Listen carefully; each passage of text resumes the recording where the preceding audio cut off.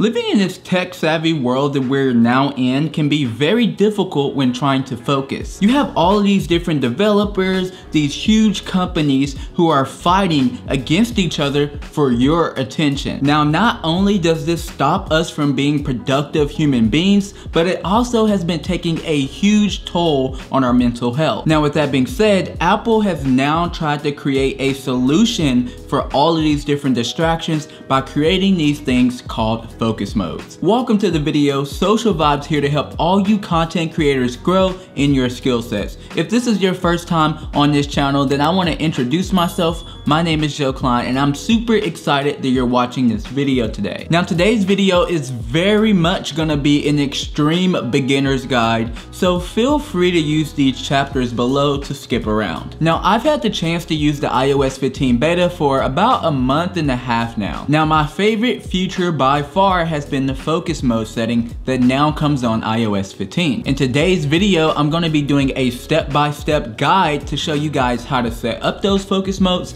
but then I'm also gonna be showing you my personal focus modes and why I like them so much. Alright guys, so getting started on our phone, we first wanna go to the drop-down menu by sliding down from the top right corner and then clicking focus. From there you will see a few different modes and as you can see I have already set up a few of my favorite modes. You can manually adjust these modes as they're already preset and I'll be showing you exactly how to do that later on in this video. Now to set up your own focus mode you simply hit the plus icon at the bottom of the screen and it brings up this start screen. From there again you see more presets that Apple has developed for you to use. You can choose from any of these if they fit your need or you can go make a custom one that fits your personality a little bit better. And that's pretty much it. That's a basic overview of the focus modes and how you can get to them and how you can set them up. Now from here, we're gonna be going into how you can optimize these different focus modes so that you can get the most out of this setting. So the one that we're gonna be using as an example today is our personal setting. Now keep in mind that everything that I'm about to say from here on out will work on each and every one of these different focus modes. So first we're gonna start on the home screen and we're gonna slide over until we see the app library. Then from there, drag and drop whatever apps you use the most during your personal time to a new blank home screen. Now continue to drop as many as you want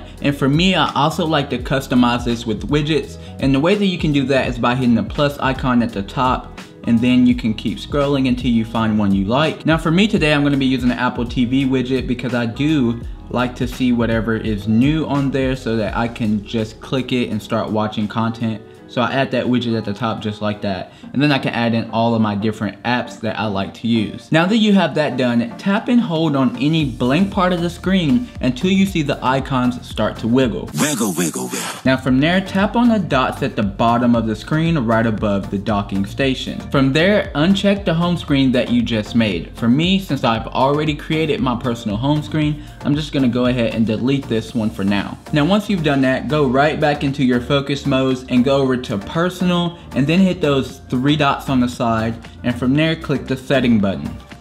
Now once you're here, click that home screen icon and then from there you see this thing called custom pages. If you don't have that turned on, go ahead and turn that on and then hit edit pages. And then from there, you simply check the screen that you just created. Hit done and now you're finished. So now you're done optimizing your home screen. So if you turn on your personal mode and you go to your home screen, you can now see you only get these set of icons on your screen now. Now in theory, this is supposed to help you kinda escape from the world so that you can enjoy your relaxed, distraction-free personal time on your smartphone with your favorite applications. Now we're gonna be taking this a step further to help you completely be distraction-free as you're on your phone. So back over in the focus mode, in the personal setting, remember you hit those three dots right there and you hit setting, you can now turn on a button that will hide all the notifications on your home screen so that you don't see those and are distracted by wanting to click them. So to do this, you go to home screen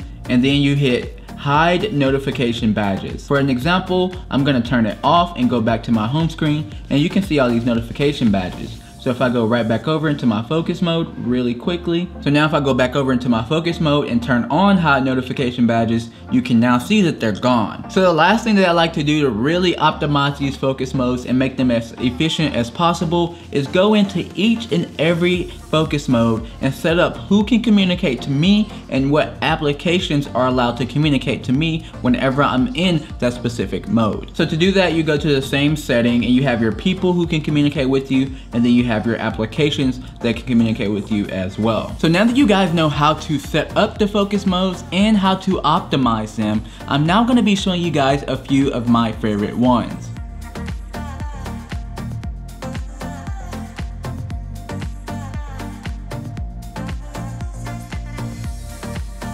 So I just launched my new merch on my website and if you guys are interested in any of the Social Vibes merch or any type of coffee content, then please go over check out the website and consider purchasing some merch to support this channel. Now if you found this video valuable, please consider hitting that subscribe button and like this video for more videos like this one. With that being said, I'll see you guys in the next video.